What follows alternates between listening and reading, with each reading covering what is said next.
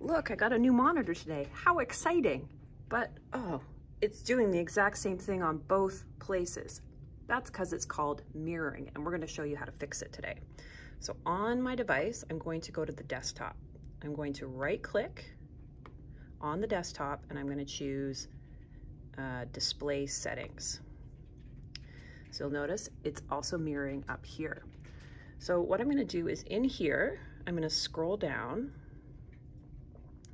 to multiple displays. And instead of saying duplicate these displays, I'm going to choose extend these displays. I'm going to keep changes.